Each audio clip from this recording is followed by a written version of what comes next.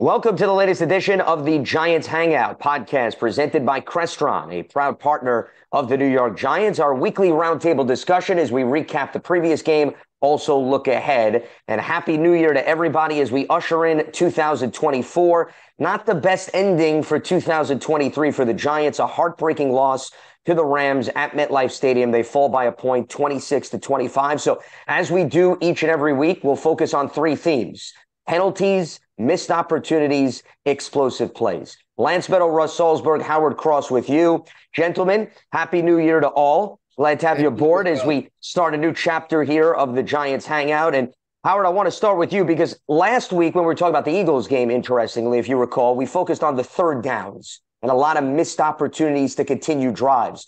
I think if you look at this week's game, you turn to, at least in my mind, those penalties because five of the seven came on the offensive side of the ball. They were against the offensive line as well as the tight ends. And they cut out so many big chunk plays, specifically in the fourth quarter, Howard. There were three penalties that wiped out 64 yards, including a 47 yard pass to Jalin Hyatt. And while I wouldn't point to one play in particular, I would say it was a cumulative effect over the course of the game. Well, yeah, the penalties were big, but I think you have to also take in consideration that defensive line was playing pretty well, so they were doing all they can to to keep them out. And you know, if they don't hold them in a couple spots, uh, it looks like the play is coming back 64 yards, but it's it's not the 64 yards that, that you're missing. It's the it's the sacks that they didn't give up at that moment. They were just trying to protect the quarterback the best they could in those in those cases. And you know, the the, the calls were good calls, like the, the, they were tackling them to the ground, almost trying to keep them from hitting the quarterback.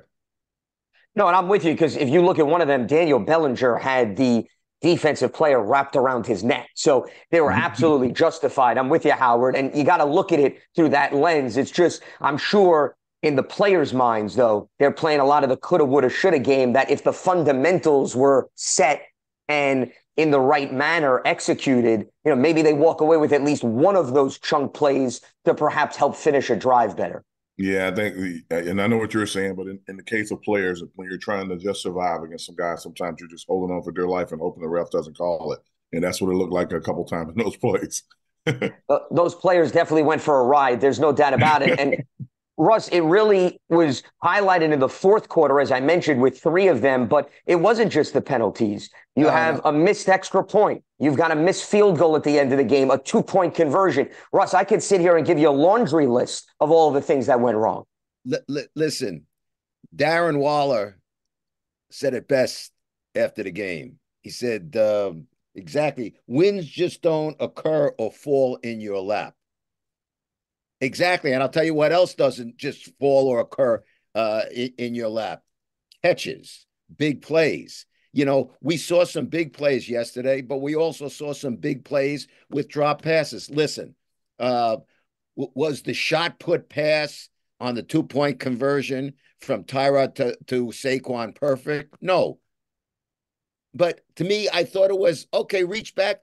This is not just anybody, it's Saquon Barkley. Make a play. There was a pass over the middle on that last drive. Saquon might have gone for a touchdown. I mean, I love the guy. He's my favorite player.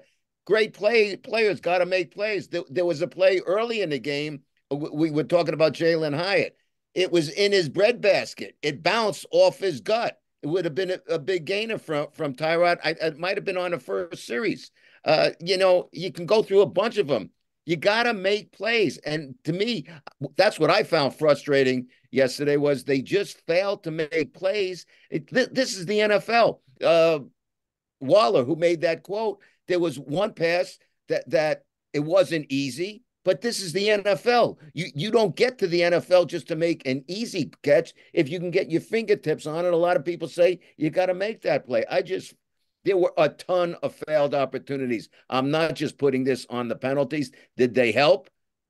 Without question, they helped. They helped hurt the Giants, but just misplays. And and how about listen, Howard? I, I met, was mentioning to you, and I've asked you in the past. Why is there such a lack of tackling? You know, is it about training camp that they can't practice as, as much? And there you saw it rear its ugly head again yesterday on an 80 yard play. I mean, Adoree had his arms wrapped around a guy and make a play. And the big plays were not made yesterday. We, yeah, certain big plays were made, but others that could have been made or should have been made have, weren't made. Let's put it that way. Well, I, I, thought more of it was, you know, I know some, some, drops and stuff, but I thought more of it was Tyrod Taylor, and and and I love Tyrod, and I, I think he's a pro, and he, you know, said all the right things after the game, but he missed like two or three touchdown passes uh, over, you know, just putting the ball in the wrong place, and he, it, it, if it wasn't like a deep, deep ball, he just didn't hit them sometimes, and I and I couldn't understand it. And I know you're saying these guys got to make the plays every time it comes to them. But for every drop that you that you're mentioning, there was a, a, a misplay going to the end zone or in the end zone that he wishes he could have back. So that's one problem. And the tackling goes back to what Lance has been saying the whole time. You know, this whole thing about the turnovers and how how they're you know there it's a skill to punch the ball out. And I keep telling him how it's really luck, and the guy should try to get him to the ground. And like maybe if there's four or five guys there, you can pull a guy down and try to pull the ball away. But that's what happens when you're trying to quote unquote rip the ball out. One player is trying to get down the field and get as many yards as possible. The other player is trying to like he thinks he has his hand on the ball and he's punching to pull it out. And you know, it just doesn't work that way. Like when you're punching to pull it out, guys get, you know, 10 yards, 20 yards, in that case, 80 yards down the field. And, you know, you saw somebody come back and make a play work from behind to punch a ball out. You're like, wow, that's what Lance is talking about. And then you see him on the sideline running down for 80 yards. You're like, yep. And that's also what Lance is talking about. It's just not a it's not a guaranteed play. It's not a, a skill that you can acquire. It's, it's something that just has to be right place, right time kind of moment. And when you when you miss it, you don't. He didn't really miss the tackle. He just didn't tackle him. Right. Yes. Yeah, yeah, right. Yeah. And he that, had his arms wrapped around him and yeah. didn't tackle him. He stops him right there, then that you know they probably don't go down and score. The defense is playing pretty decent outside of that play, but you know, again, missed opportunities. These guys, it, it, looked like to me you had one team that was playing, you know, for all they were worth, and one team was like, okay, we're we're we're in it, and it, it wasn't like they were weren't trying. It just like some plays that kind of looked a little too casual, and the casual plays hurt them. You know, Howard, and, I yeah, go ahead, Russ. I, I Howard, I couldn't tell. You know, I'm sitting in the press box, but you know, I, I was kind of wondering your vantage point from being down on the sideline. I thought, I thought uh, Tyrod a, a, few of the, the sacks when he was sacked, I thought he might have been holding on to the ball a bit too long. I wasn't sure. What did it look like to you down on the sideline? Well, he wasn't getting sacked early. Once he had the two interceptions, he threw the two bad had the two bad throws. Then he started to hold on to the ball because he didn't want to. You know, coaches telling him like, "Hey, man, you're just throwing the ball into you know to the classroom for everybody to grab. You got to like you know get get a better handle and make make sure you're not doing the wrong thing." And even at one point after the second interception, the entire crowd was screaming, "Bring back Tommy!" You know, bring back Tommy. They were like screaming at him. So then, you know, the very next play, I believe he throws a 80, 80 plus yarder to to uh, uh, Slayton. So you're hearing a lot of things going on in the stands. You're watching him, and you're listening to the coach. You know, trying to get him to, you know, you know, guys are right in front of him. He missed like you know, guys right in front. He threw a ball on the sideline to Saquon. I think Saquon even missed it, but right in the middle of the field was was Waller. Like we just like, and he he's not under pressure. He just chose to throw the ball outside. I'm, I'm like, I don't know. Well, that was a play, I believe, if you're referring to, he was matched up with a pass rusher, actually, up the left side, Howard, and the pass went wide out of play. That could have actually been perhaps even a touchdown if it was on point. So another missed opportunity. What's amazing, you were referring to the explosive plays. The Giants, for the first time in franchise history, guys, had two touchdowns for 80 plus yards. And I know one came on special teams with Gunner mm-hmm. Olszewski, who did a great job forcing a few missed tackles, and then the one that Slayton had. And you would think if you didn't watch anything else in this game, a team that has two touchdowns for 80 plus yards would, in all likelihood, walk away with a win. But then, what we were all just talking about, Puka Nacua gets an 80 yard play, which cancels out pretty much one of the Giants' explosive plays and all of these other instances. And I go back to Howard, what I have brought up on previous games. The Giants had 13 possessions. 11 of those 13 possessions, because I know how much you love my statistics. So I made sure I calculated this extra special for you. Okay. 11 of the 13 possessions, Howard, the Giants had at least one negative play. And what do we talk about? You lose yardage on first down. You lose yardage on second down. The sacks, the penalties. This team is not built, regardless of two explosive plays here or there, to overcome that consistently. And I think that truly reared its ugly head not just in one element of the game, but really over the entirety of the game. Yeah, they made a lot of mistakes. They they just, they just aren't consistent enough.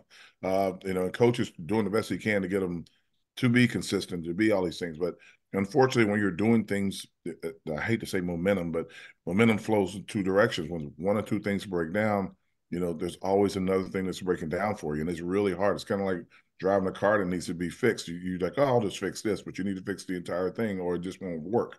So that's what I'm looking at with the team, and they, you know, when they're making plays, they're like, okay, we can do this. I can see the excitement in the guys' eyes. And when something goes wrong, you you see a lot of heads hung down. You see shoulders slumped. They're like, man. So you you don't want that look. You want guys, you know, patting each other on the back, encouraging each other, and trying to get keep it going. And, and I thought for a minute that they were going to kind of keep it going, but just another, you know, just another breakdown here or breakdown there. I, I was thinking about also like you know, at the end of the game, when Tyrod comes down, he slides. The next play, he can't take a sack. He has to throw the ball away. He he doesn't even attempt to. He just like you know goes back, takes a sack, and they luckily get get it close enough to attempt a fifty plus yarder. But the kickers, it's not the normal kicker. Like we're down what two, three kickers, so you you kind of get what you get, and you're hoping for a guy that's like he's in his forties to try if he can make a fifty plus yard kick in the win. That that, that just so since since we're doing statistics, Howard, that's mm-hmm. our fifth kicker. okay. That, that's a, that's a lot of kickers. that, that is yeah. a lot, and, and he's a, no offense, uh, Mason Crosby, a little long in the tooth as well. So you know, you know. Well, and also keep it keep in mind, Russ, Cade York, who you're including in that yes, five, yeah, he didn't yeah. even kick. He didn't even kick at all this right. season. So it is five kickers, but only four actually got opportunities this season. That's how crazy it's been. Yeah, and, no, and wait till we play Philadelphia uh, this coming week and he kicks the ball like he's kicking the ball. It's not getting in the end zone on the kickoffs. It's not getting close to the end zone. And they're, you know, it, you know, the Rams decided that they that they were going to try to return it, but I think Philadelphia will be we watching that and they'll be like, okay, so we got a chance to start on the plus, you know, plus thirty here. We we can get it out because sure. If it's coming down at ten yards, they're going to start catching and trying to run it back. Yeah, now that Go ahead, Russ. Yeah. No, no, says Lance, you brought up the negative, you know, plays. It, it just listen, that's reared its ugly head far too many times this mm-hmm. entire season. You you just you put yourself behind the eight ball immediately with those plays, and instead of listen, second and and second and eight is a heck of a lot better than second and 12. It just, mm-hmm. it really puts you in, in dire straits. You, you're, you're playing catch up from the get go.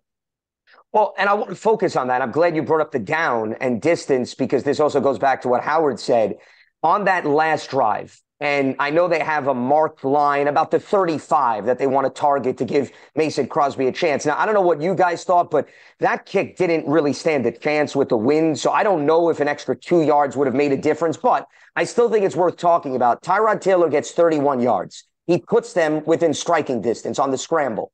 Then they spike the ball because they're out of timeouts, and then they run the draw play. And Saquon winds up losing two yards. He goes backwards. Now, they were asked a lot about this. Brian Daboll, Tyrod Taylor, and they had mentioned, you know, that was the play call. This wasn't something that Tyrod checked out of. They figured, okay, let's not put the ball in harm's way and throw it here. Let's try to run it. But I mean, the Rams read that beautifully. And then you get an incomplete pass to Wan'Dale Robinson, not to mention Saquon. Russ, this goes back to what you talked about earlier, dropped the pass earlier on the drive. And now we talk about the game of inches. I don't think it would have made a difference based on how the kick went, but two yards here, two yards there. Maybe Mason gets a little bit of an easier opportunity. And who knows how things pan out on that final chance for him to kick the ball. Well, I, I, listen, when it happened, you know, and and Dave said afterwards, I'm there at the press conference, you know, his post game, and you know, he liked to have it back. But you know, it, it's an old story. If it works, everybody's calling it. It was a great call, and, and I sure. think he was just trying to get them set up, and maybe have them thinking they're going to pass the ball, and you're giving it the ball to Saquon, and, and let's say he gets you, you know, something out of it, but he didn't. So now it's a bad play. That that's the feeling. Well, you know, I, you, you, you got to look at it like this, guys. He, he calls a draw. The draw it's a good call. The offensive line has to block it. I agree. All, all, all good. You know, you can say Tyrod, Saquon, whatever. The offensive line has blocked. You get one guy in the middle, you know, pinned to the side. He gets two yards. He may even get eight yards. But where you don't block anybody. The entire defense was in the backfield. Oh, Nobody without a doubt. Yep. Yeah, so that's that's that's what the play is. That's been that goes back to the to the crux of what's been happening the entire season. You know, the offensive line's been struggling, and that shows when when you when you really need them to step up and just hey, look, just be on your guy. You know, and I think I think after all those holding penalties, they were like, well, we can't hold them, and they just let them go. so this, this is what it looked like. Yeah, because you yeah. can't lose 10 yards in that. Yeah, You'll take two, exactly. Howard. You can't lose exactly. 10 or else you're not even attempting a field goal. Go ahead, Russ. No, no, no, I'm glad Howard brought up that point because when it happened, I didn't go, oh my gosh, how, how did he call a running play? I, I thought, man, you know, if, if he busts that, you know, if, you know, if ifs and buts were candies and nuts, every day would be Christmas it doesn't work out that way. But I didn't, you know, people are making a big deal about it. I'm sure they're going to make a big deal about it the next time they speak to Saquon. Uh, not, excuse me, not Saquon, uh, Brian. But I just, I okay, it was a call that kind of made sense to me. It just didn't work. But and and, and, and not to cut you off, and, and and to point out what I said, what I've said for the last three weeks, they got better. You know, the, the team got better as a whole. They, they might miss a tackle here, a tackle there. You're disappointed at the end of the game, but the, the explosive plays that you know down the field, the you know the the defense finding a way to stop these guys when they had to stop them. You know, everything got better. A, a punt return for a touchdown. The special teams got better. They keep getting a few more plays better. It's the closing out of games now that they got to figure out, and you know they'll have one more chance to figure out the, the closing out part next week. You, you know, th- there was also a play um, we haven't mentioned yet. What was it? Third and and 18, and Bellinger made a great, you know, rough, mm-hmm. tough, gutsy effort. Got back 17 and fourth and one, and, and you know it was a right right across the middle to uh, Hyatt. He lost yardage on a play. Again, yep. it's negative yards. And, it looked as if it looked as if Dave said on the sideline to him when he came over, like, "What are you doing? It's fourth down. Like, go this way instead of well, he, that he, way." He kind of was coming back to the ball on the, yes to make sure the guy wasn't going to undercut him. But once he catches it, it you know, at that speed, I, have never run that fast, so I couldn't tell you. you, you got to figure out how to put your foot in the ground and change direction. So yeah. I don't know if you can do that or not, but that that that that was what's happening. He he's coming downhill a little bit to catch the ball. Once he catches the ball, they let him catch it also to make sure that he was going to go backwards. Yeah. And that was one of two fourth and ones, by the way, because remember they had another one, Russ, where Tyrod couldn't handle the snap and they wound up turning it over on downs as well. And Howard was referencing the interception by Tyrod Taylor. I know it goes down as one turnover, which is legitimate. The Giants really turned the ball over three times because they had two turnover on downs where you thought maybe you'd get some points, and then you had the legitimate turnover, and that's yet another group of missed opportunities that we could throw onto the fire with everything else that we're cooking up within this discussion. Yeah, I'll tell you, it's another game. I, I haven't been to too many games where I've seen, you know, they missed two, where I've seen three missed extra points in one game and three missed extra points when the weather wasn't terrible. You know, like you've seen them in rain oh, and snow. It was it was windy, like, I, but in the pregame, I, I got a chance to watch them like warm up a little bit. They were having a hard time. The wind blows across the stadium from from the Giants side to the visitor side, and if you're not used to kicking in that, you it's, it's like you're hitting a slice or a duck hook or something. It, the ball was just like all over the place. And for those guys that like kind of hit the ball and they hit the little draw back into the to the middle of the net, that doesn't work in that wind. Any spin on the ball, it all goes it goes really far left or right. So I was like, man, I said if it comes down to a kick, it could get ugly. Well, that's why Crosby said that he believes he misjudged the wind, Howard, on that last kick. To your very point, and I think the wind shouldn't be overlooked because think about it. We had two kickers. Russ mentioned that Crosby's long in the tooth. I think that's well documented. He's a polished veteran, whereas Lucas Havrisik, the Rams kicker, is a young guy just getting his feet wet in the league, yet both struggled with respect to the wind. So it just goes to show you, you could have 20 some odd years of experience. You could all of a sudden be green in terms of your track record in the NFL and you get similar results. So I think that played a role for both teams, but it adds up. And I think that's what, you know, Russ was getting at. One point here, one point there, three points there. That's when, when you lose a game by a point, guys, we're putting all of these things under the microscope because once again, my key phrase is it's cumulative. You can't just point to one thing. You could point to about 15 to 17 things in a game like this. Well, I, I, I think, and I think Howard, listen, Howard's the one here who's the former player and played for a long time on good teams. You know, the good teams don't make have these problems. Okay. They, they they need to be better. The Giants need to be better so they can be one of those good teams. There's been oh. far too many. We we talk about missed opportunities and, and negative play, negative yardage, and all that. It's it's happened far too long this season, and now we're approaching the final game of the season, and we're still seeing it happen. Well, like I like I keep telling you guys, like I don't I didn't never say they were a good team. I never I haven't seen them you know, do something. I said it was going to be a tough season. If they got to seven wins, they'd be lucky uh, from the schedule and the teams they were playing because the competition had been ramped way up. They're coming down the last three or four games of the season. They're playing all teams that are trying to make playoff runs and playoff pushes and all this stuff. And I'm like, okay, so these guys will be playing their best. They have not the teams they've played against. I don't think they've played their best. And the Giants played playing at the level they keep playing to keep the games close. I see improvement every week. I see better plays every week. I still see the bad plays. They can't overcome all the bad plays. They can't overcome one or two. If they have seven or eight, then it's just a tough game for them. But again, improvement every week. I know Daboll doesn't want to hear that. There are no moral victories, but there is improvement all around the field, and I'm I'm I'm happy to see the improvement every week. Well, I, I will say, uh, Lance, to Howard's credit, and he said this to us from the get go, not to expect you know, you know the the win total to increase from last season, and you, you were right about it. But you know, in line to you know Howard's point, you know the Giants aren't good enough to overcome as many bad plays as they make. Mm-hmm. Really good teams can overcome those bad plays. But when you're not making so many good plays, those bad plays bite you on the you know where. And that's what's happened again to the Giants yesterday. Yeah, well, and that's why Uh, go ahead, Howard, if you want to jump in there. I was, was going to say, and like you, you got to look at things like missing Deonte Banks. That was incredible that that they were able to still kind of formulate some kind of secondary that that could could slow those two guys down. And they didn't stop them, but they slowed them down enough. That that was another positive thing I was looking at during during the game. And then Tyree Phillips going out of the game late. I'm thinking, man, here we go. Here comes Peart. Peart came in and you know hung in there and did you know did the best he could. It, it wasn't like it was like a giant enormous drop off, but he he came in and seeing Phillips run out of the out of the tunnels or get back in the game was kind of cool because he was like, I'm ready to go, and I'm like. He was laying on the ground, rolling around. I didn't think he was going to make it, and he gets up, th- back in. I'll, tell you what. When all the players came running out, everybody thought something was really bad wrong there. I mean, you know, at, the end, at, the end, he, he, the second time he went down, yeah. he was yeah. he was crying when he was leaving the field. Yeah. They, Terrible. They yeah.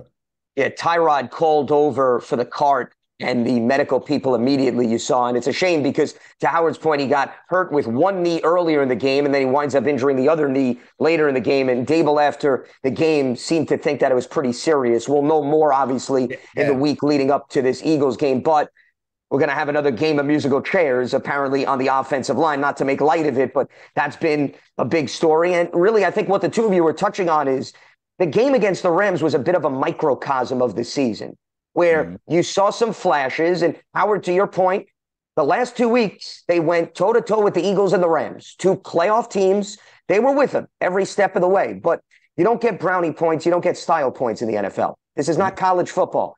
Howard doesn't have to make a case for Alabama to get into the 14 playoff as we gear up for the semis. And Alabama made it. And Howard is on cloud nine, by the way, as a result of that. But he doesn't have to make a case for these NFL teams. So you got to finish.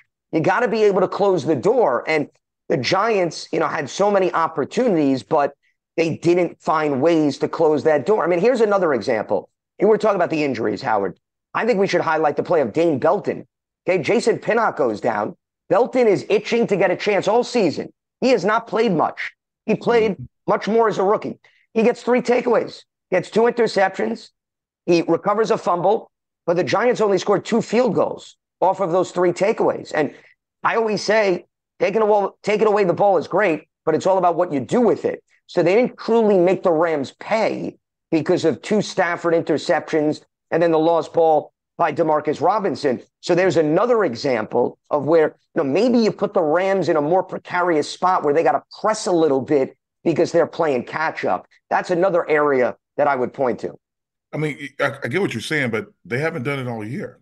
like I, I didn't expect them to like come out. I'm like I said, if they get the ball, my my thought is just keep hold it for a little bit, make sure that they that the defense gets a break before you put them back out there. They haven't been able to score or, or put drives together uh, in a long time, unless the play is like you know the plays of Slayton or something. They're just not having that kind of success. I, I thought Saquon ran the ball hard. Uh, it, it could be like he'd get a ten yard run, an eight yard run, a minus two a, a five yard run, a minus three. Like it, it was like hit or hit or miss. So again, guys, if they had some consistent play up front, the the season would have looked a lot different. Uh, a lot of these games would be a lot different. Uh, Daniel would probably be still be in the backfield at quarterback, but that's not how they played. They played they, every every week. It was like a struggle. Every week it's been how they're going to hold somebody up and how they're going to keep somebody out. Every week it's okay. What's what's going to happen? What shoe? What could bad could happen next? And you know, this game I think was probably one of the better games because even though they had the penalties, they didn't have as many sacks. So you have to, you have a trade off. Would you want to be second and second and five or second and twenty? I mean second. I mean second and 15 or second and 20. So the, you get 15 with the sack, you get 20 with the penalty. So it's, it's you, you just gotta you, you gotta kind of keep pulling for them. Like I said, keep looking for some improvements. Keep hoping that they're going to get a little bit better. You know, this game coming up this week is going to be you know, with Phillips going out and Peart coming in, hopefully Peart can, you know, muster up some kind of ability to to, to block a little bit better than he's been, you know, he was before he got set sent down for a little bit. You know, hopefully he can figure out a way to, you know, come back and, and play strong because they're going to need him to be be somebody that he's not right now. You, you, you, know, you, you were just talking about some sacks, Howard, whether it's th- them or us, but really, um, a sack is always a good thing for your defense. But, but I thought the Giants defense, especially in the second half, you know, it's one thing coming up with a sack, but you know, I call them money sacks on third down or something. When you got to have them, they came up with them. I thought that was impressive yesterday. Yeah, Wink Wink did a great job dialing up some some great blitzes because you know you see Bobby Okereke getting two two sacks. That, that's not part of the defense that we that we see or the player that we see in the backfield getting sacks, and he got him in there two times for for sacks. You saw uh, the I think Phillips got a sack. Uh, Simmons, Simmons, got a sack. Yeah, Simmons. Well, yeah. you know, you that's what you're you, you got to find ways when you're when your big guns aren't aren't able to do it. And a big part of the, the reason why they're not able to do it consistently is Dexter is playing, but Dexter's playing like on a, on a pitch count. Like for most of the game, he's like he's over there cheering, and then when they need him in, they try to bring him in to to, to mix it up and put a little more extra pressure. But with that hamstring, which is not hundred percent, he he can't go full speed. Jihad Ward also contributed with respect to the sacks. So you're right, the complimentary guys. The great thing about the Okereke sacks, and he actually had to split the second one, so he didn't officially get two. I'm not saying you're wrong, Howard. We just we want to be politically correct on this program, so that as a numbers guy, I have to represent the analytical people, okay, mm-hmm. who study yeah. and fine tune the NFL stats. Just wanted to make that clear. But as we move on, and I digress back to the subject at hand, the beauty of the two Okereke sacks was the fact that he patiently waited.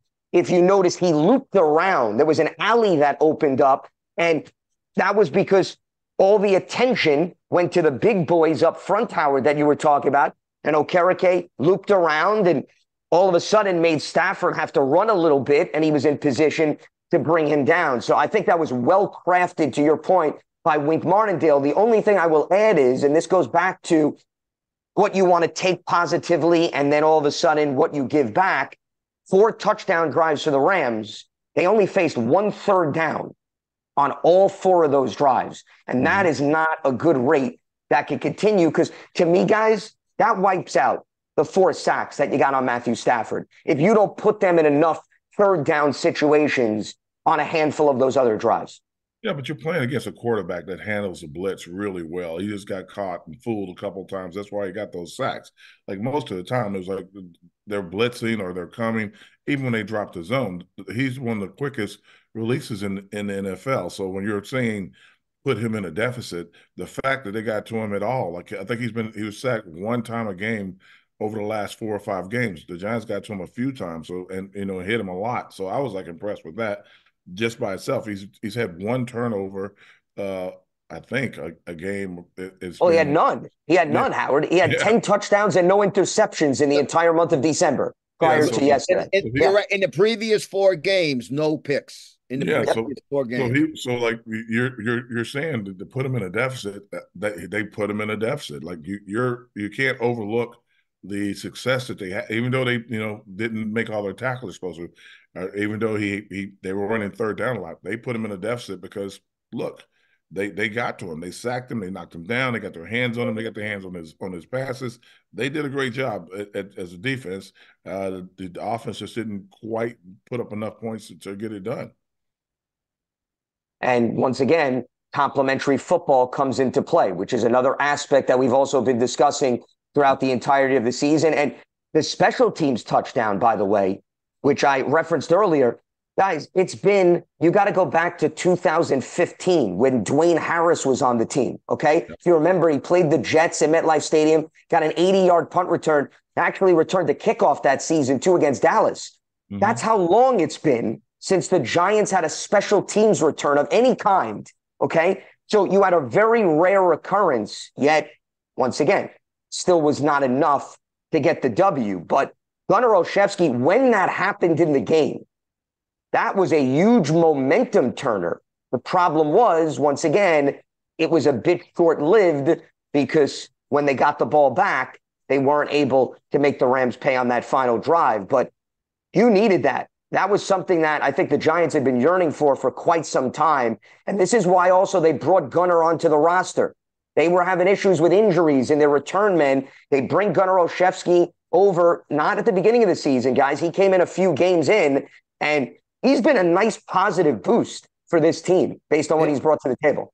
extremely positive. You know, quite frankly, I, I mean, when he's back there, uh, when you say positive, I think he gives p- the team confidence that something could happen. And I don't think uh, Giants fans, anybody felt that way with anybody else being back there. Him being back there, you feel something could happen. Yesterday, it did happen. Well, he, he was pressing a little bit because he had let that ball get over his head. Yeah, over his head. I'm Yeah. like, and he didn't run at first. That's not going to end zone. He had to run to get to it, and then he had the ball aside. You know, thankfully, you had the big play to Slayton right. You know, soon after that, but the, he he was pressing after that. He wanted something good to happen because he felt like he had made a major mistake. And all these things add up, which is why we are breaking it all down with respect to the Giants' one point mm-hmm. loss to the Rams, 26 to 25. But another game that came down to the wire for the second straight week. And now they'll get the Philadelphia Eagles for the second time in three weeks. And before we wrap up, guys, we have a 4:25 p.m. Eastern kickoff for both games because the Cowboys are going to be in Washington, and this is still a very meaningful game for Philly. So they're going to play all of their starters. Not that it matters at this point for the Giants from a mathematical standpoint, because the Eagles lost to the Cardinals. So you can only imagine what they're going to be thinking coming into this game, but they don't control their own destiny anymore. The Right. Cowboys, they control their own destiny with that loss. So if Dallas wins, Dallas wins the NFC East, the Eagles could walk away with a W and it won't make any difference. So it just goes to show you the reason I'm bringing this up is every single week, notice the storylines change, the opportunities shift. That's how this league is defined. Competitive balance, parity. You could be the king one week and you could all of a sudden be the joker the following week. Okay. That's how this revolving door of fun spins.